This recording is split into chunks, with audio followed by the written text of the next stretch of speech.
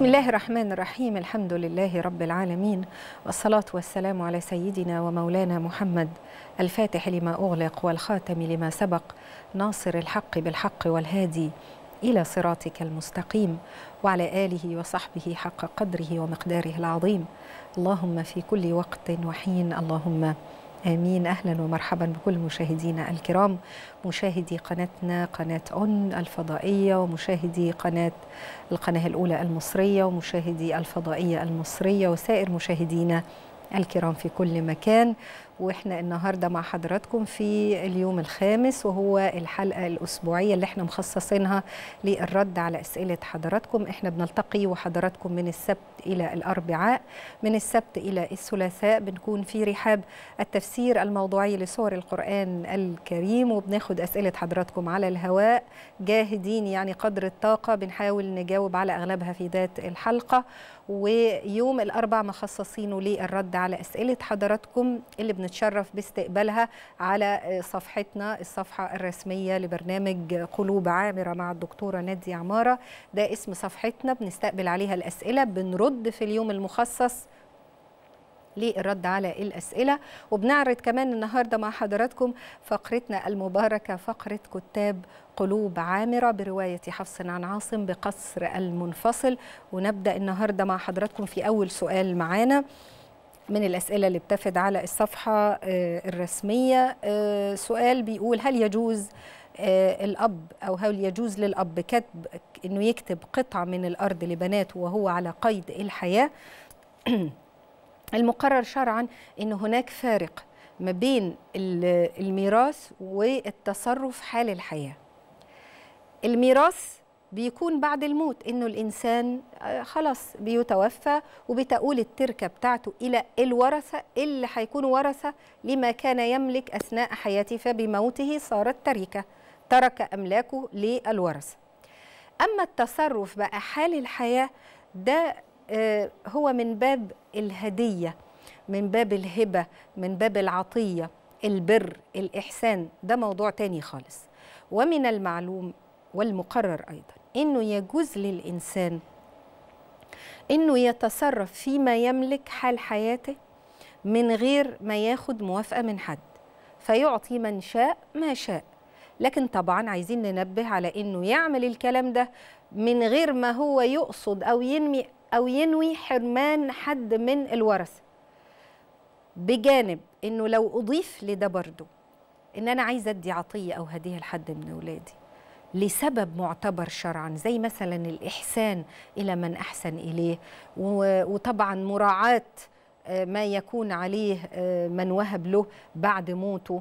آه، زي مثلا لما نقول آه، انه عايز يامن للبنات زي ما نقول حضور معنى التامين في حياته ان هو عايز يامن للبنات وضعهم عنده بنت مثلا حالها رقيق جدا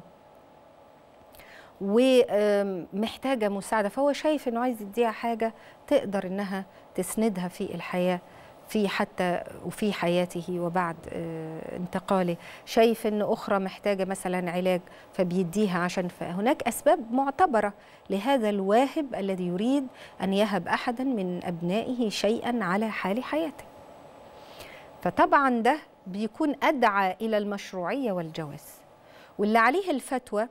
انه آه، في ديارنا انه بيستحب للانسان التسويه في العطاء بين اولاده حال حياته انا النهارده عايز ادي آه، لاولادي شيء فحد سين وصاد ودال المستحب ان انا اساوي بين آه، سين وصاد ودال او بين اولادي اديت ده شقه اجيب لي ده شقه واجيب لي ده شقه الافضل لانه هذا هو المستحب وذلك لما ورد في الاثر مش لازم يعني شقه بعينها ان انا عايز ادي عطيه مال ذهب ارض عقار اي شيء او ان انا اراضيهم كل واحد بما يحتاج مش لازم تبقى العين الموهوبه انه الثلاثه يكونوا شبه بعض بس اعطي كل من اولادي ما يريد فاعدل في مبدا العطاء كل بما يريد وكل بما يحتاج وده لما ورد في الأثر عشان كده بنقول إنه ده على الاستحباب التسوية بين الأولاد لما ورد في الأثر من حديث ابن عباس رضي الله عنهما إن النبي عليه الصلاة والسلام قال قال معلما ساووا بين أولادكم في العطية ويعني لما تيجوا تدوا لأولادكم حاجة ساووا ما بينهم ولو كنت مؤثرا أحدا لو كنت عايزة أفضل يعني حد من ولادي لو عندي ذكور وإناث شوف النبي يقول ولو كنت مؤثرا أحدا لآثرت النساء على الرجال يعني لو أنا حتى عايزة أميز شوية فأميز البنات عكس اللي الناس بتعمله في أرض الواقع ان هو بيحرموا البنات ويدوا الذكور لا ده النبي عليه الصلاه والسلام بيقول يعني لو عايزه اميز شويه حد من الولاد عندي ذكور واناث اؤثر ان انا فضلت النساء على الرجال اذا التسويه بين الاولاد حال حياه الاب او الام مستحبه فقط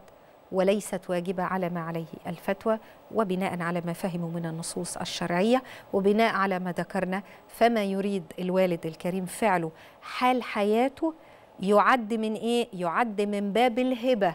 والعطية وليس توزيعا للميراث وإن هو أمر جائز ومشروع وفق ما يراه المعطي من المصلحة ومراعاة إيه الأحوال إيه للموهوب آه، ليهم هذه العطايا أو الهدايا التي أراد أن يهبها هذا الوالد على حال حياته والله تعالى أعلى وأعلم ناخد السؤال الثاني اللي معانا والدتي سن ست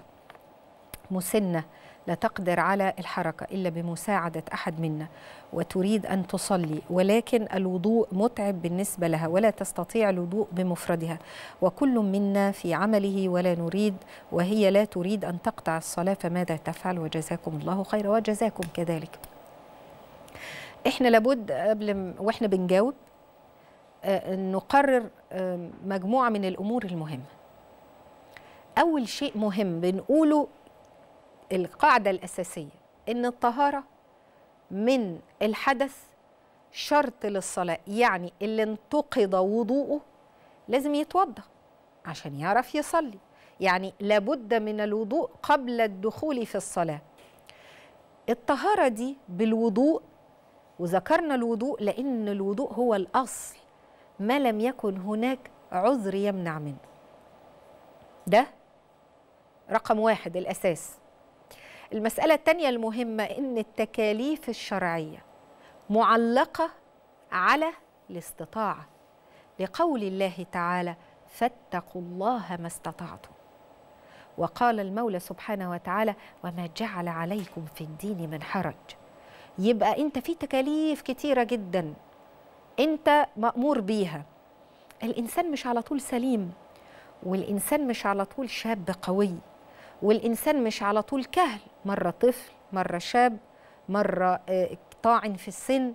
مرة سليم مرة مريض عشان كده الوحي الشريف أقر هذه القواعد المهمة إنه فاتقوا الله ما استطعتم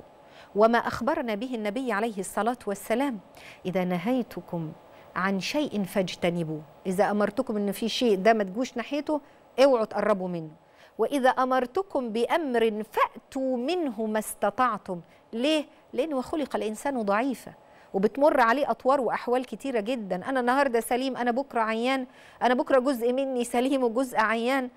فبتدور التكاليف معايا حسب قدرتي واستطاعتي وده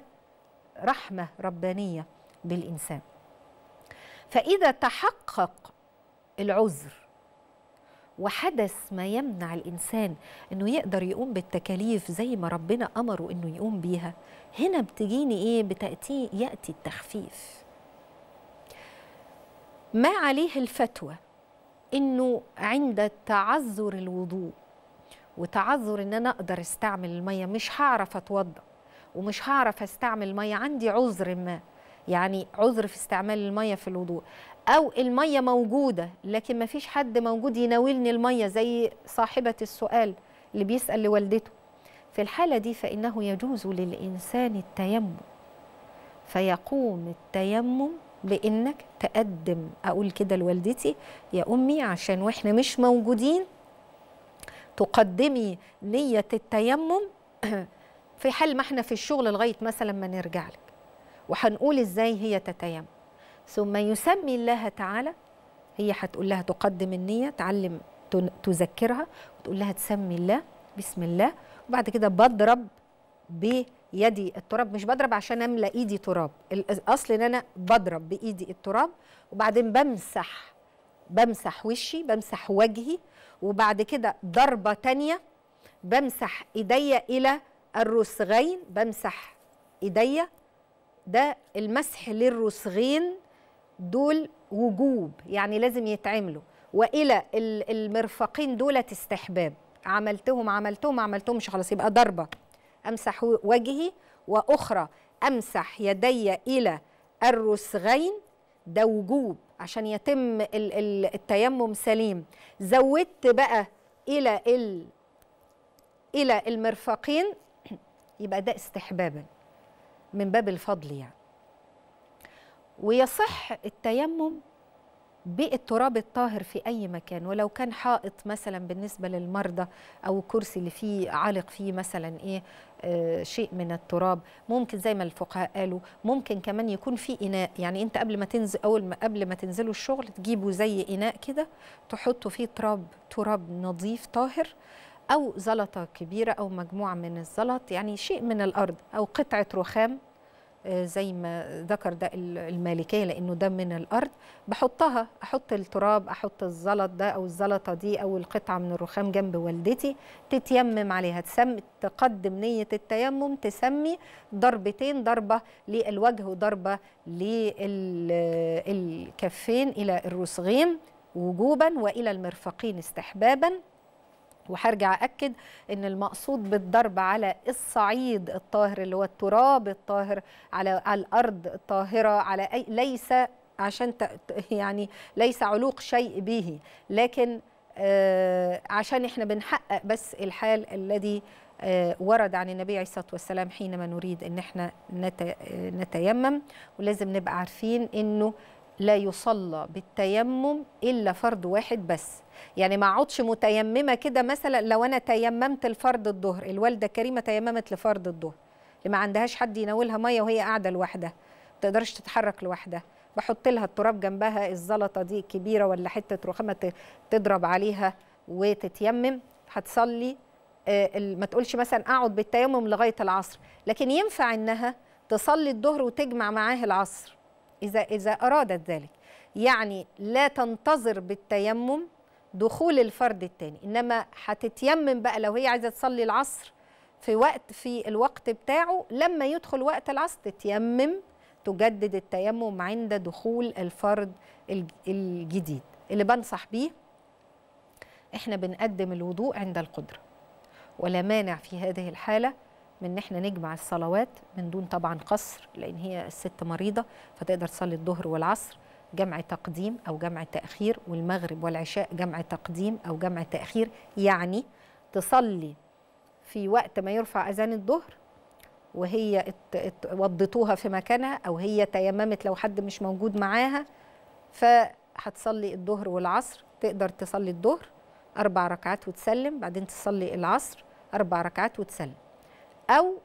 عايزه تنتظر حد مثلا يجي فيوضيها الساعه في وقت العصر كما تشاء الميسر ليها فتقوم تجمعهم حاجه اسمها جمع التاخير تيجي في وقت العصر تصلي الاربع ركعات واربع ركعات تجمع الظهر مع العصر جمع تقديم او جمع تاخير فبنبتدي بالوضوء احنا موجودين مثلا الصبح هي عايزه تصلي الصبح وهي في مكانها كده وضوها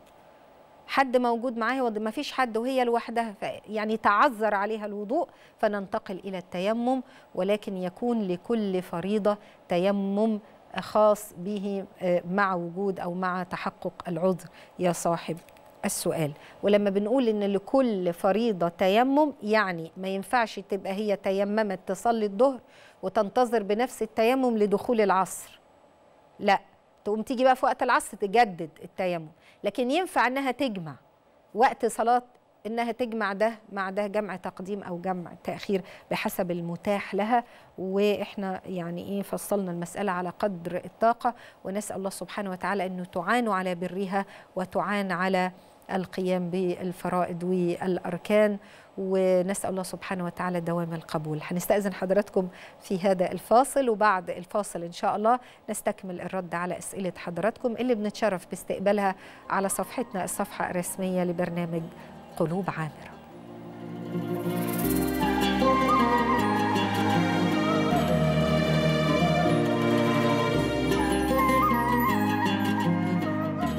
اللهم اجعل هذا البلد امنا وسائر بلادنا وارزق اهله من الثمرات من امن منهم بالله واليوم الاخر اللهم اجعلنا مسلمين لك واجعل ذريتنا امه مسلمه لك انك انت التواب الرحيم اللهم يا حنان يا منان يا بديع السماوات والارض يا ذا الجلال والاكرام والطول والانعام والعفو والاحسان والمنن والرضوان من علينا بنعمه الامن والامان والهدايه والايمان وادم علينا نعمه السلامه والسلام والعافيه والتيسير والتوفيق على الدوام واحفظنا واحفظنا بحفظك الذي لا يرام يا خير الحافظين ويا مجيب السائلين واخر دعوانا ان الحمد لله رب العالمين وصل اللهم وسلم على المبعوث رحمه للعالمين اللهم امين امين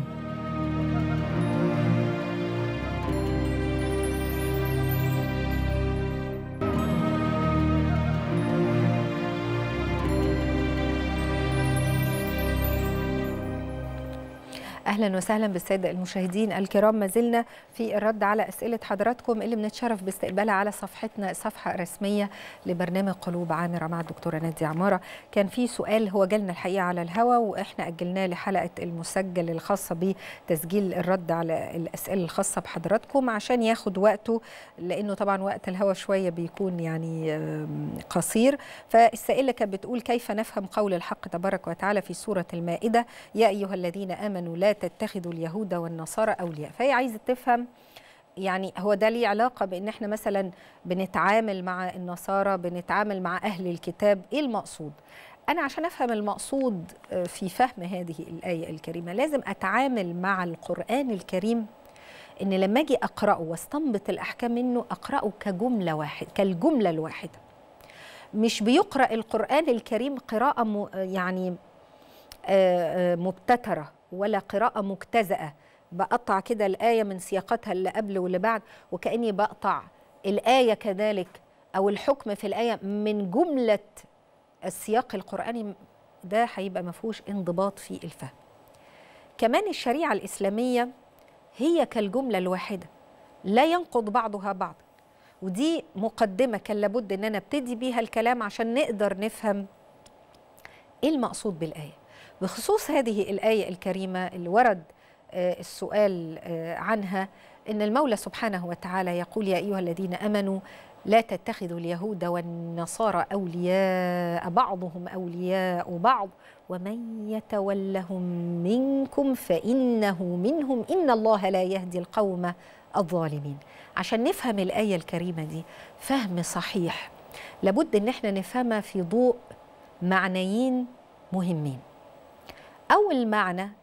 إنه معنى الموالاه اللي, اللي هنا الممنوعة في الآية والمعنى الثاني معنى التعايش اللي أباحته الشريعة الإسلامية وحست عليه طب يعني القرآن هيأمرنا بالشيء وضده طبعا شيء محال شيء محال لكن لما هقرأ القرآن الكريم وأجتزئ المعاني منه هشوف ده لكن لما أقرأ القرآن الكريم كالجملة الواحدة هشوف التناغم والتناسق بين المعاني القرآنية هنرجع للمعنى الأول وهو معنى الموالاة في الآية الموالاة الممنوعة دي هنا إيه؟ اللي هي الموالاة في الدين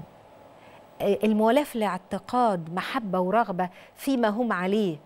يعني إنك بتقف معاهم ضد آه، المسلمين ظلما وعدوانا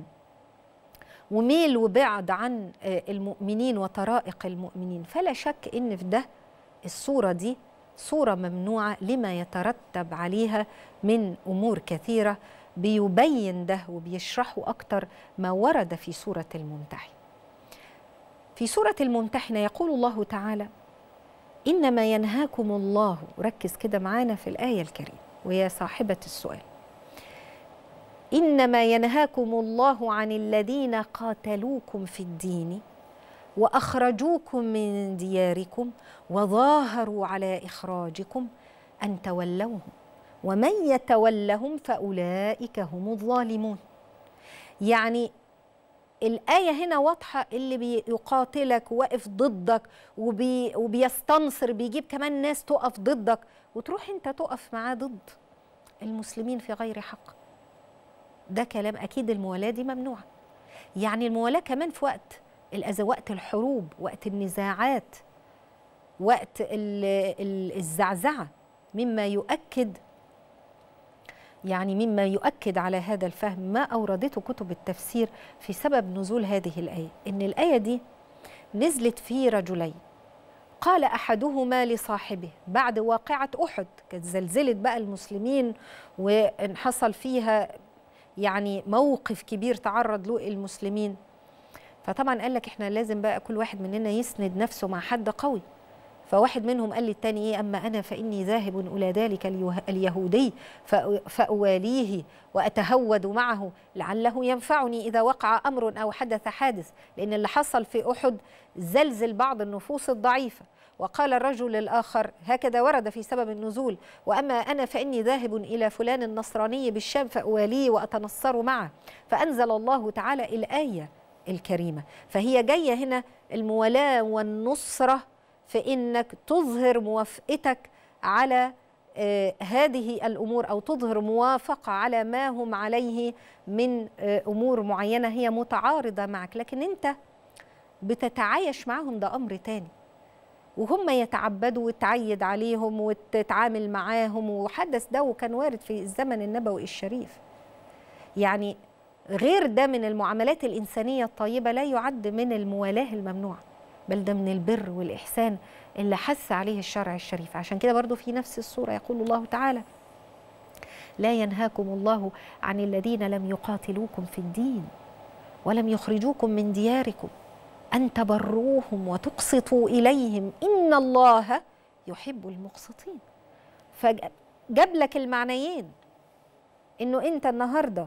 دول بتواليهم ناس قاتلوكم وأخرجوكم من دياركم وجابوا كمان ناس يعني تكالبوا عليكم وتروح تقف معاهم ضد المسلمين الأمر هنا واضح لكن لا ينهانا الله عن ود ما عاش معانا في سلم وامن وامان ان انا اوده وابره وان انا اعيد عليه في عيده وان انا نتواد ونتراحم ونتزور وكل شيء ده معنى وده معنى ده معنى في وقت قتال وحروب وفي وقت في زعزعه في حرب في عدم سلم وهناك وقت اخر وقت السلم لم يقاتلونا ولم يخرجونا من ديارنا ولم يسرقوا ارضنا ولم ينهبوا اموالنا وقت سلم واحنا متعايشين بمودة ورحمة لم ينهانا الشرع الشريف بل أكد على أن نقدم معاني البر والرحمة والود وأنها تكون هي الأساس في هذا التعامل الإنساني ورد آه، في سبب يعني نزول هذه الآية الكريمة اللي هي لا ينهاكم الله عن الذين لم يقاتلوكم في الدين أن تبروهم وتقسطوا إليهم إن الله يحب المقسطين يعني يحب أهل العدل والإحسان طالما الناس بتودنا والناس كويسة معنا إحنا كمان كويسين معاهم فيبقى أنا أفهم الآية دي في سياق هذا المعنى العام في القرآن إنه الود ده مطلوب مع من لم يقاتلنا ومن لم يسئ إلينا إنه أم السبب النزول اللي قيل في هذا إن أم السيدة آه، أسماء بنت أبي بكر الصديق جاءت المدينة زائرة ابنتها أسماء وهي في الوقت ده أم ستنا أسماء كانت لسه مشركة كانت في المدة اللي هي في المهادنة اللي كانت بين رسول الله صلى الله عليه وسلم وبين كفار قريش بعد صلح الحديبية وهي المدة اللي نزلت فيها هذه السورة سورة الممتحنة فسألت آه، ستنا أسماء سيدنا النبي عليه الصلاة والسلام هي عارفة أن أمها ما زالت على الشرك وهي مؤمنة فراحت سألت رسول الله صلى الله عليه وسلم وقالت أأصل, أأصل أمي قال نعم صلي أمك وبناء على ما قدمنا فإن معنى الموالاة في الآية هو مكان على الوجه الممنوع كما سبق بيانه لا على جهة التعايش اللي حث عليها الشرع الشريف يا صاحبة السؤال هنسيب حضراتكم مع كتابنا كتاب قلوب عامرة واللي بننبه إلى أنه الرواية التي نقرأ بها ونعلم على أساسها رواية حفص عن عاصم بقصر المنفصل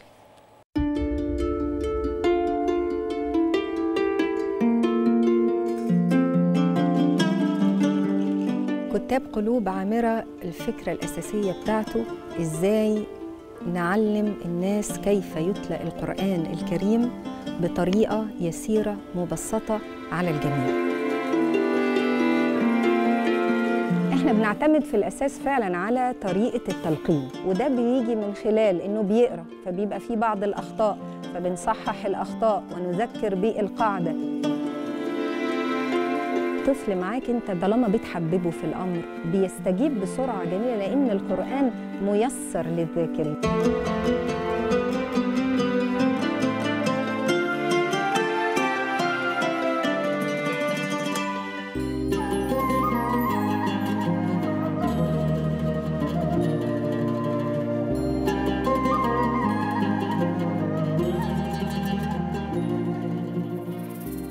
بسم الله الرحمن الرحيم الحمد لله رب العالمين والصلاة والسلام على سيدنا ومولانا محمد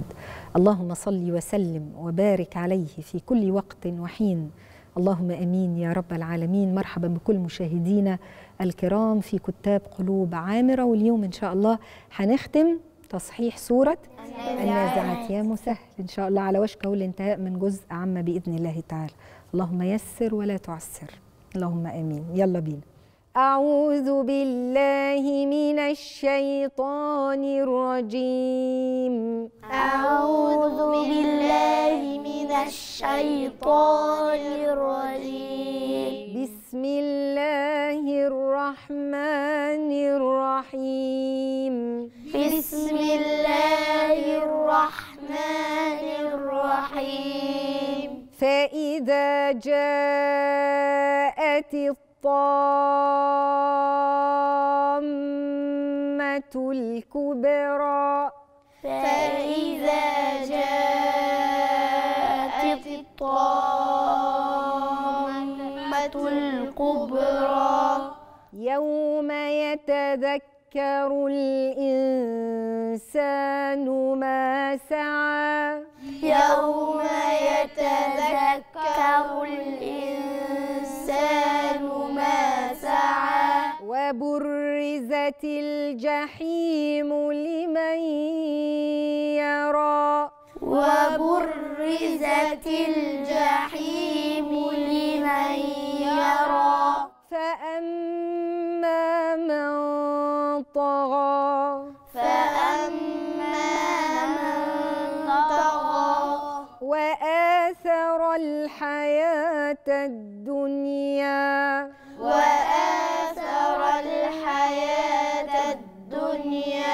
فإن الجحيم هي المأوى فإن الجحيم هي المأوى وأما من خاف مقام ربه ونهى النفس عن الهوى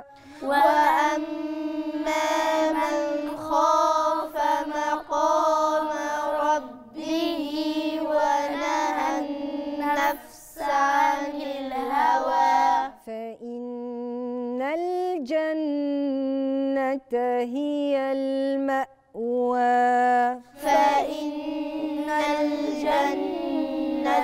هي المأوى يسألونك عن الساعة أيان مرساها يسألونك عن الساعة أيان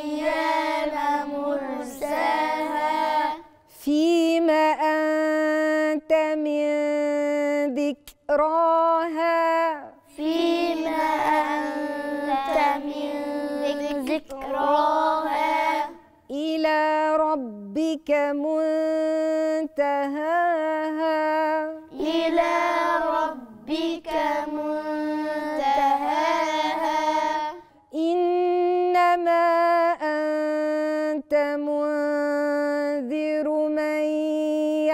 shah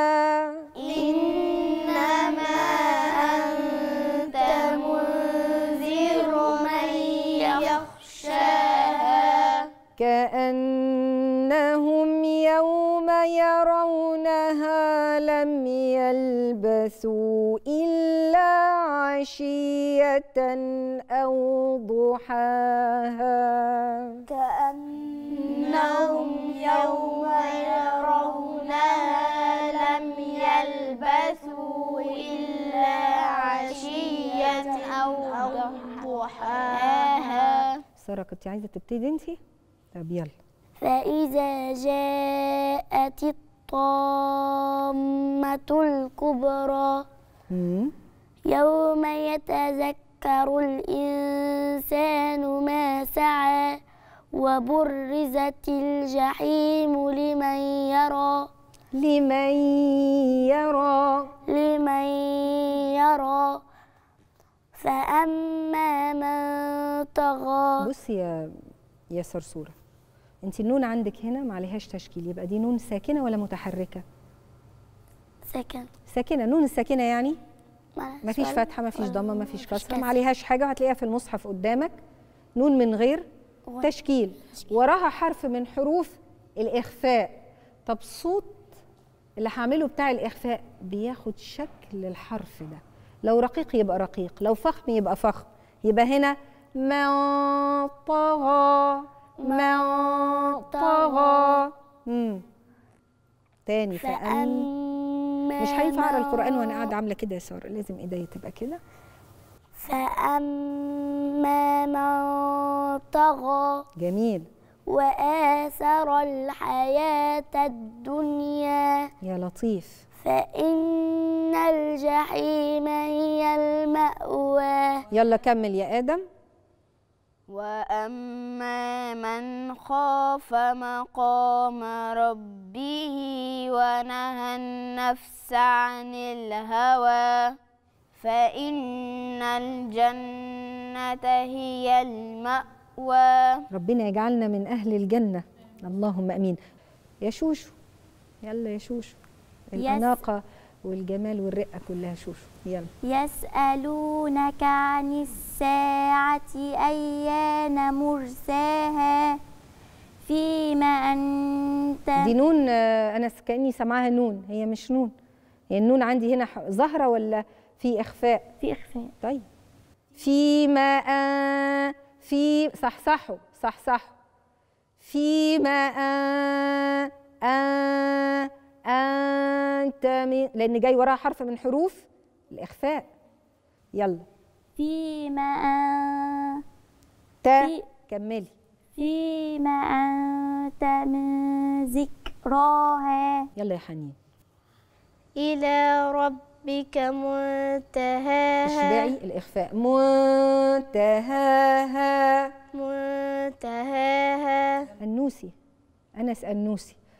القراءة تختم بقى أنت ختامه مسك إنما أنت منذر من يخشاها جميل تبارك الله إنهم يوم يرونها لم يلبثوا لم يلبثوا إلا عشية أو ضحاها أنت عارف أنا مبسوطة من حاجة جميلة قوي النبر بتاعك تصوير المعنى فجبت لنا كده اجواء الساعه والناس اللي كانت بتنكر بقيام الساعه وشافت ان الدنيا دي كانه قعد ساعه فيها مش بقى العمر الطويل اللي متهيأ له ان هو قعد فيه عمر طويل فانت بتصور التصوير ده مهم النبر بتاعي فيه تجسيد المعنى مهم ليا وانا بحفظ وللي بيسمعني من تصوير المعاني ده شيء مهم جدا معناه ان انت بتتفاعل وتنفعل بالقرآن فاهم بتقول ايه على قدك وكل شويه لما بتقرا كل ما بتزداد القرآن كل ما نخالطه بالحفظ وبالقراءة وبالتعلم كل يوم بتزيد عندي المعاني وبيتبني قدر من المعاني جميل في نفس الإنسان الذي يقرأ القرآن الكريم والذي يحفظ القرآن الكريم والذي لديه حرص على تعلم كيف يتلى القرآن الكريم الكريم امتثالا لأمر الله تعالى ورتل القرآن ترتيلا صدق الله العظيم وبلغ رسوله الكريم ونحن على ذلك من الشاهدين اللهم ذكرنا من القرآن ما نسينا وعلمنا منه ما جهلنا وارزقنا حسن تلاوته آناء الليل وأطراف النهار على الوجه الذي يرضيك عنا يا الله يا كريم اللهم اجعل القرآن العظيم لنا في الدنيا قرينا ويوم القيامة شفيعا وعلى الصراط نورا والى جميع الخيرات دليلا واماما ربنا اتنا في الدنيا حسنه وفي الاخره حسنه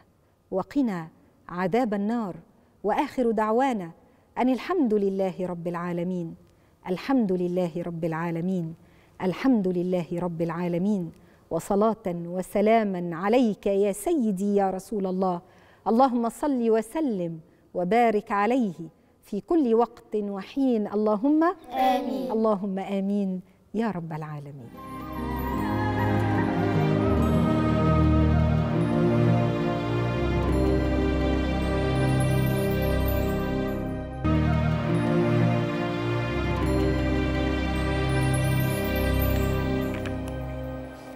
اهلا وسهلا بكل مشاهدينا الكرام في اخر بقى سؤال معانا النهارده إيه، إيه، ما الحكم بعد الدخول في الصلاه وحدث شيء يجبرني على الخروج من الصلاه مثل طرق باب الشقه مثلا هل اخرج من الصلاه بالتسليم وارجع ابتدي الصلاه مره اخرى الاصل المقرر انه بعد الشروع في الصلاه يعني بعد الدخول فيها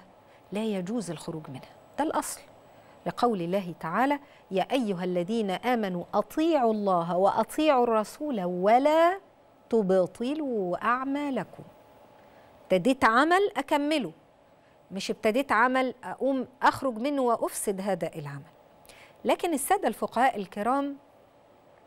ذكروا بعض الحالات اللي يجوز بسببها أني أقطع الصلاة آه، آه، لاستنقاص شيء يعني او ان انا اعمل حاجه معينه ضروره يعني ده هيندرج تحت باب الضروره او الحاجه اللي تنزل منزله الضروره فقال الفقهاء, الفقهاء وذكروا بانه قطع الصلاه المفروضه جائز للامور المهمه والمصالح المعتبره التي لا يمكن تداركها وانه امر يكون جائز في بعض الاحوال سواء كانت المصالح دي آه، مصالح دينية أو دنيوية بل قد يصل ذلك إلى حد الوجوب إذا تعلق أنك آه، تطلع بره الصلاه اذا تعلق ده بانقاذ غريق مثلا انت مثلا بتصلي على شاطئ البحر وفي واحد بيغرق وانت تقدر تستنقذه تجري على طول تمام لانه دي مصلحه اغاثه ملهوف آه، حصل مصيبه في البيت حريق او شيء هتقعد تكمل ولا هتخرج عشان آه، آه، يعني تقضي على هذا الامر او تساهم في حل هذه المشكله كل ده في الامور الصعبه الجلل اللي تقتضي انه الانسان يقطع الصلاه من اجل انه ينقذ طفل هيقع مصيبه يوقفها يلحقها حد بيغرق حد هيموت حد وقع جراله حاجه فدي امور تندرج تحت زي ما ذكر الفقهاء تحت الضرورات والحاجات التي تنزل منزلة الضرورة ده بخلاف ما لو كان الأمر اللي بيحصل أمر يسير أو أمر يمكن أن أنت تلحقه فتقدر انك انت تخفف الصلاه يعني حاجه ممكن تستنى شويه فتعمل ايه لكن هي ملحه انك لازم يعني ايه تستدركها فتعمل ايه تخفف الصلاه لكن ما تخرجش من الصلاه اذا كان الامر ده امر يسير فمجرد ان حد بيخبط باب الشقه ده لا يعد ضروره ولا يعد ولا يعد عذر يبيح قطع الصلاه انما تقدر في الحاله دي او الاولى في هذه الحاله التخفيف في الصلاه عشان تلحق انك تفتح الباب للطارق لو بتسبح ثلاث تسبيحات خليهم واحده لو بتقرا سوره بعد الفاتحه اقرا فاتحه الكتاب فقط وهكذا بحيث انك بتخفف الصلاه فتقدر تلحق اللي بيخبط على الباب ولكن ما اقطعش الصلاه أما لو اضطريت لعذر شديد ضرورة ملحة لقطع الصلاة حد وقع حد طفل صغير هيأذي نفسه أو ما شابه ذلك اللي هي قطع الصلاة للعذر أو من الأعذار المعتبر اللي أشرنا إليها منذ قليل في الحالة دي أنا قطعت الصلاة مثلا من الركعة الثانية على الإنسان في هذه الحالة أنه يرجع بقى يكبر ويدخل في الصلاة ويبتديها من جديد وما يبنيش على أنه صلى قبل كده ركعة لا يبني على ما جاء به قبل ما ينفعش يبني على ما جاء به قبل القطع انما يبتدي الصلاه من جديد وده بنقوله للي قطع الصلاه لضروره ملحه كانقاذ غريق او آه، انقاذ طفل صغير او انقاذ من وقع او ارتطم فحدث له شيء او نشوب حريق او مصيبه كارثه ما ينفعش انه يكمل الصلاه فعليه ان يقطع الصلاه ليه انقاذ من يريد ان ينقذ وبما فيها انقاذ نفسه وهو من باب اولى وبعد كده يعمل ايه قطع الصلاه من الركعه الاولى من الركعه الثانيه من الركعه الثالثه هيرجع بقى يبتدي الصلاه من آه، جديد ده في حاله اذا ما قطع الصلاه لامر ضروري او حاجه ملحه يعني آه، هنعتبرها كانها او تعتبر كانها كالضروره ونسال الله سبحانه وتعالى ان ينفعنا بما علمنا والله تعالى اعلى واعلم وقال ربكم ادعوني استجب لكم يا الله يا رحمن يا رحيم يا حي يا قيوم يا ذا الجلال والإكرام والطول والإنعام يا الله اللهم إنا نسألك بمحمد نبيك وإبراهيم خليلك وموسى كليمك وعيسى نجيك وروحك وبتوراة موسى وإنجيل عيسى وزبور داوود وفرقان محمد صلى الله عليه وسلم وبكل وحي أوحيته نسألك نسألك يا مولانا نصرا عزيزا نسألك يا مولانا فتحا مبينا نسألك يا مولانا عزا عظيما يا من بيده ملكوت كل شيء إنك على كل شيء قدير نسألك نسألك يا الله العفو والعافية والمعافاة الدائمة في الدين والدنيا والآخرة اللهم ادفع عنا كل الفتن والآفات واقضي لنا يا مولانا في الدنيا والآخرة جميع الحاجات ستر العرش مسبول علينا وعين الله ناظرة إلينا بحول الله لا يقدر علينا والله من ورائهم محيط بل هو قرآن مجيد في لوح محفوظ فالله خير حافظا وهو أرحم الراحمين إن وليي الله الذي نزل الكتاب وهو يتولى الصالحين حسبي الله لا إله إلا هو عليه توكلت عليه توكلت وهو رب العرش العظيم اللهم إنا نسألك العافية في الدنيا والآخرة اللهم إنا نسألك العفو والعافية في ديننا ودنيانا وأهلنا ومالنا اللهم استر عوراتنا وآمن روعاتنا اللهم احفظنا من بين أيدينا ومن خلفنا وعن يميننا وعن شمالنا ومن فوقنا ونعوذ بعظمتك أن نغتال من تحتنا يا الله يا أرحم الراحمين يا من كنت قبل كل شيء والمكون لكل شيء والكائن بعد كل شيء اللهم اجعل لغزه وفلسطين والسودان وسائر بلادنا فرجا ومخرجا اللهم اجعل لنا ولهم فرجا ومخرجا اللهم اجعل لنا ولهم فرجا ومخرجا اللهم اجعل لنا ولهم فرجا ومخرجا بحق بحق ليس لها من دون الله كاشف بحق ليس لها من دون الله كاشف اللهم بحق ليس لها من دون الله كاشفة اللهم اغفر اللهم اغفر للمسلمين والمسلمات والمؤمنين والمؤمنات الأحياء منهم والأموات إنك يا مولانا سميع قريب مجيب الدعوات يا رب العالمين واخر دعوانا ان الحمد لله رب العالمين وصلاه وسلاما عليك يا سيدي يا رسول الله اللهم صل وسلم وبارك عليه في كل وقت وحين اللهم امين نستودعكم عنايه الرحمن الرحيم. thank you